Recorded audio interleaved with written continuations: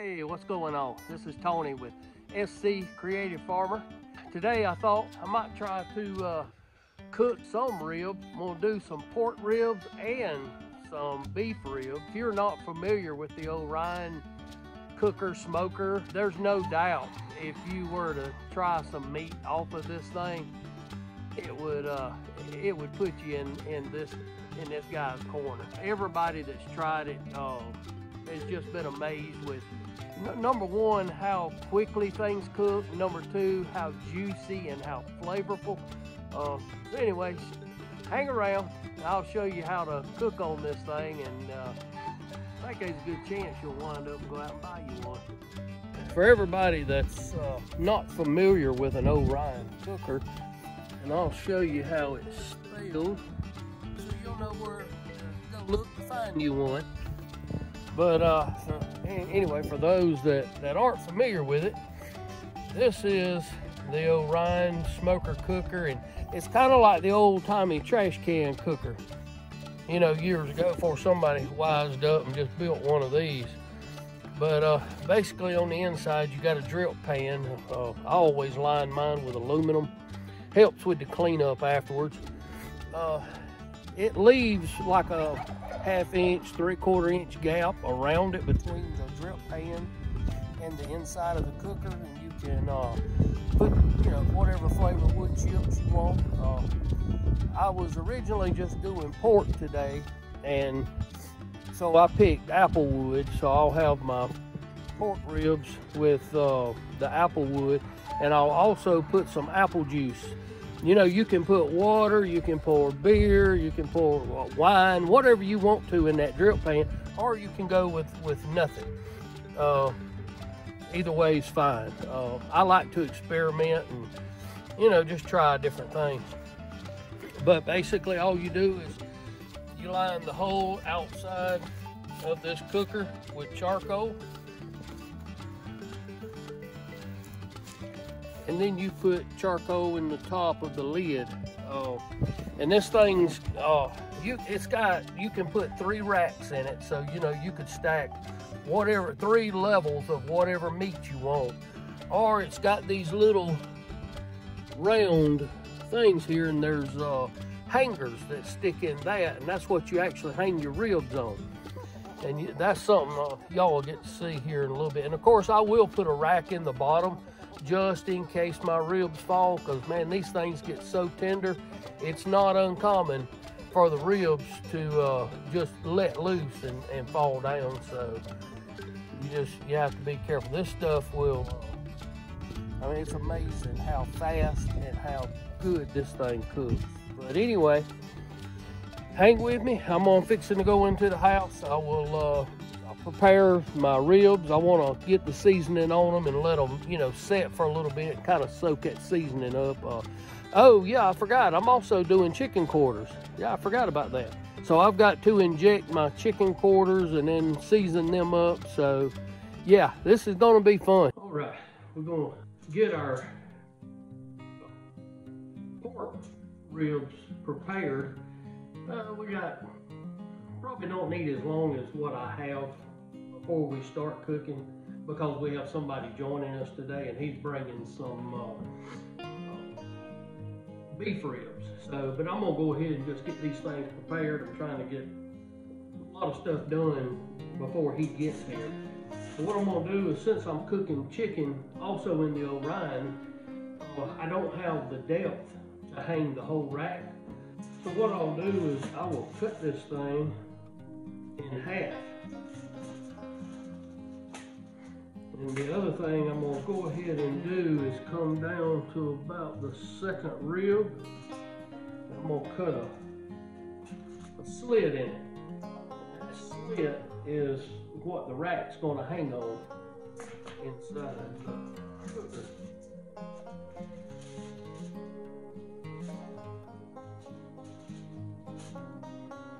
All right, let's get these things prepared. You know, every time I cook something, I change it up. Uh, don't know that I've ever used mustard. Can't say I have or I haven't. But I think I'm gonna use a little mustard as a binder on this. Just rub it all over your. I don't know how mustard would taste on on beef. I guess it would be okay. I don't know. I'm gonna do is just cut these things with a little bit of mustard. Then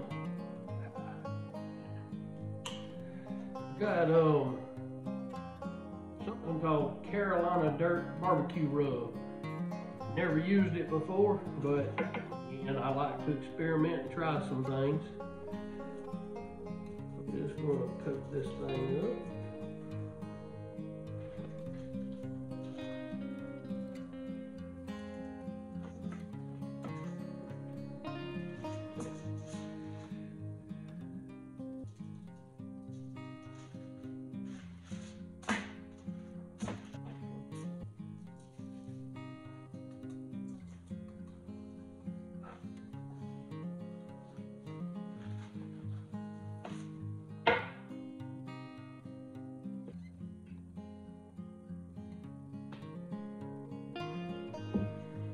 Don't need a whole lot of mustard.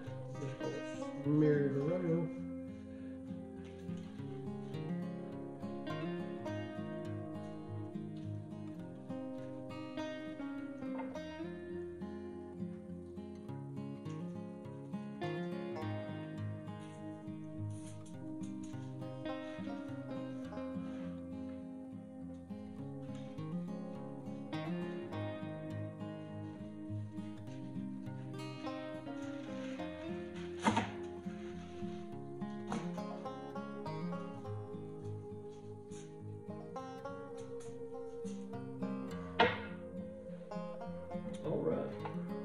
That's gonna do it.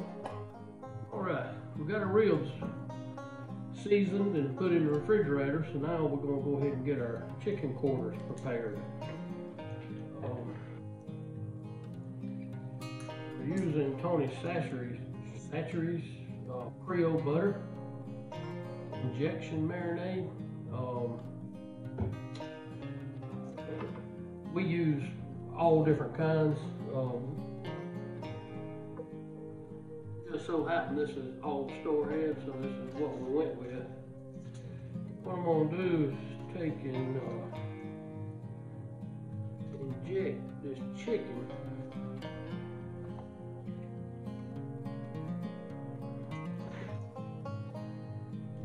With this marinade, I like to work that injection around this marinade all throughout this meat. And then for me, you know, the best thing I have found out is to do this and then let your meat sit for a while. And it's just gonna soak up all them flavors. So uh, ain't gonna hurt a thing to let it wait. To me, it just tastes better than just injecting it and then go straight out to the cooker.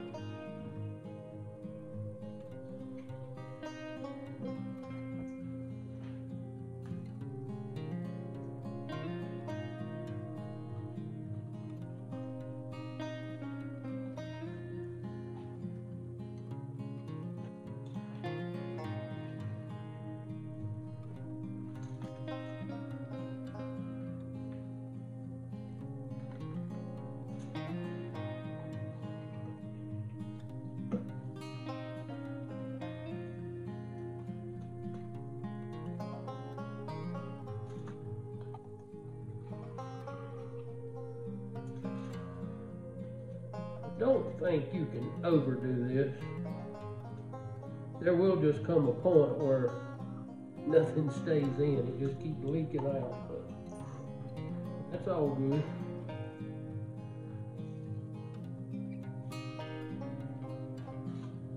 Then, of course, every time we, we do chicken like this, we use the Lawry's seasoned salt. Like this thing. Loaded with this.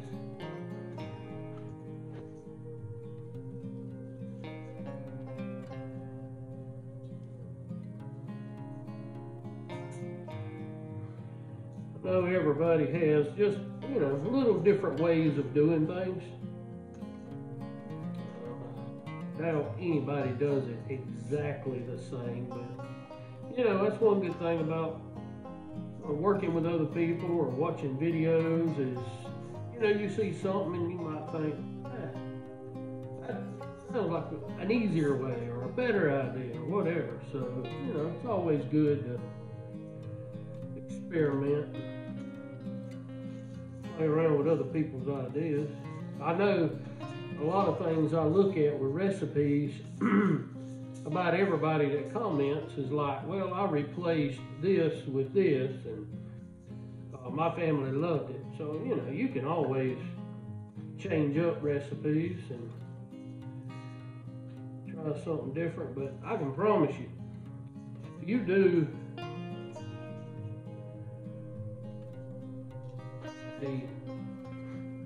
anything in this Orion cooker, it's going to be the best you ever put in your mouth. I know it's probably gonna hurt some of these guys' feelings that uh that uh, you know been cooking for years, these pit master barbecuers and all this, but man, they done brought perfectionism to the backyard cooker now. So anyway, we're gonna I'm gonna take these, I'm gonna put them in a bowl and cover them, put them in the refrigerator, and just let them wait to go on to the Orion. All right we got our beef ribs here. And I, I, wasn't aware at the time, but these ribs are so narrow, I don't think I'm gonna be able to hang them on my hangers. So what we're gonna do, we're just gonna put them on the on the grill, on the screen, you know, uh, and let them cook with the chickens, and they'll be fine. But I need to get them seasoned up. So uh, what I'm gonna do is I'm gonna add a little bit of this Dale seasoning to uh, just as a binder to get them wet. It'll add some flavor. Probably not much unless I was to let them, you know, soak in it, marinate in it for a little while. But anyway, I'll get them with some Dale's on it.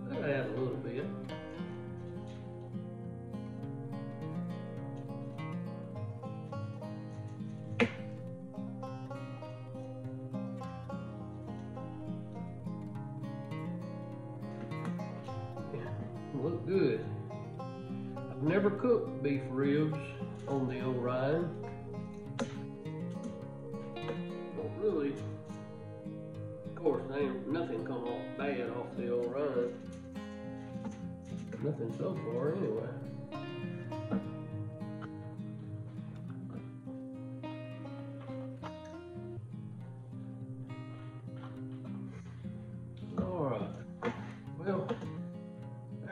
Fair amount of discussion on what to use on these. Uh, I think we're going to go with uh, something called Speedy Rub. Don't know if anybody's heard of it. I never had, but I'm anxious to see how this stuff tastes.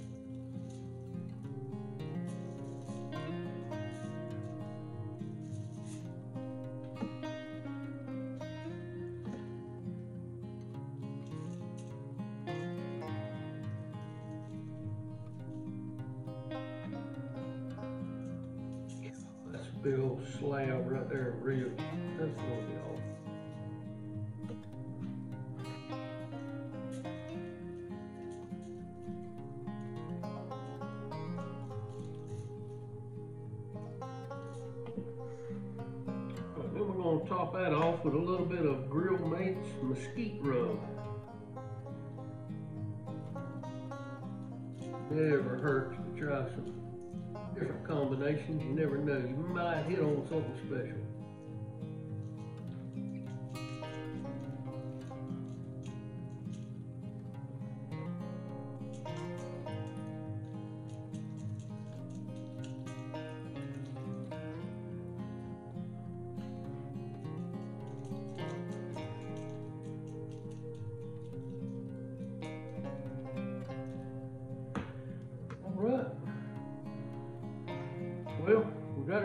Our beef ribs. We've already got our pork ribs and our chicken prepared and in the refrigerator setting and soaking up all them good flavors. So now we're going on.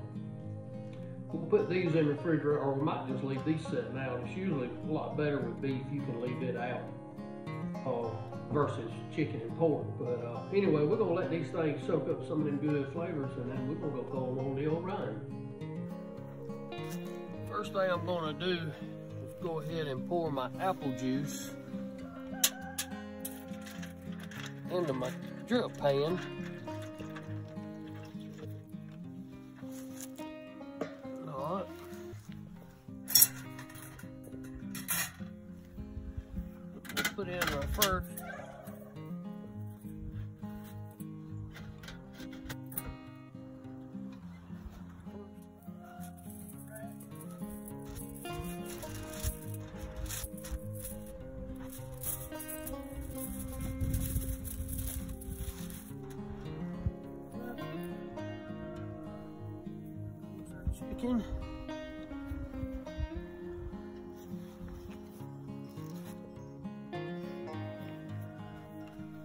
What I always do is I try not to let my meat touch the side. I know the insides of these things look like they're nasty, but they have been scrubbed. I think they just tarnish. I've had this thing for years, so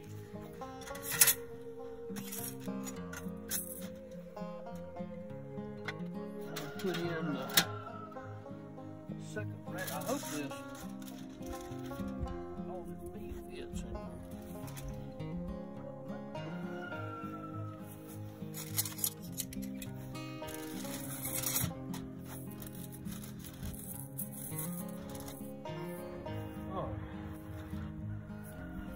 Here go the beef ribs.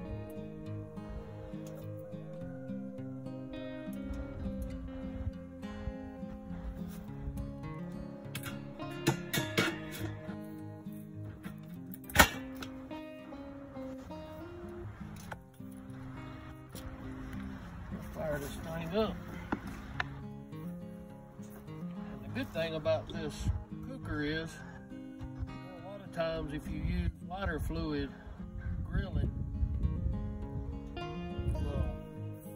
have that taste of this. But the good thing about this grill is your meat's on the inside and you're hitting it from the outside. So this doesn't affect the flavor one bit. I reckon if you like the taste of this, you can squirt some on the inside if that's what you want. You don't have to worry about, about this lighter fluid, fluid flavor.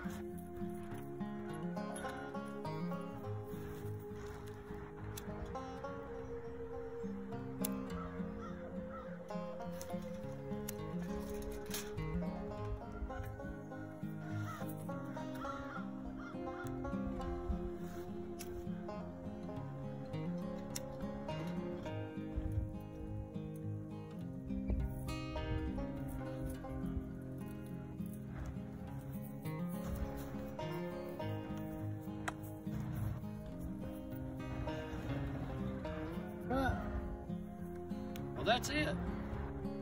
Hour and a half. Pop her open and see what we got. All right. It's been an hour and a half.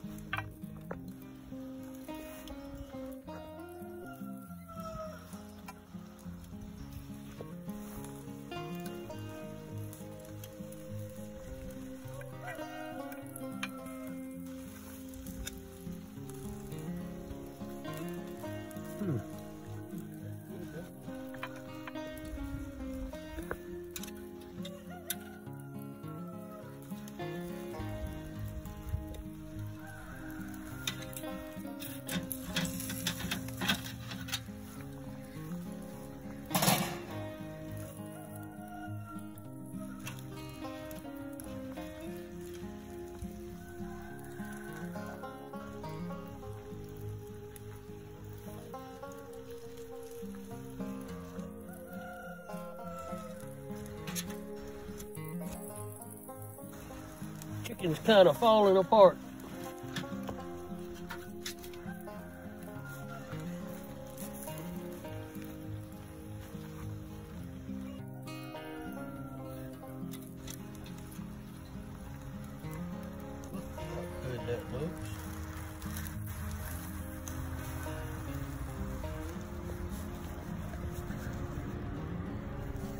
Oh, it smells so good. I'm gonna have to try a little piece. Oh, oh, oh. Mmm. Mmm. That is so good. Mmm. Wow. The ribs is underneath everything, so I'm not gonna fool with them. I just wanted to try that chicken. It was right on top, and it is on the money.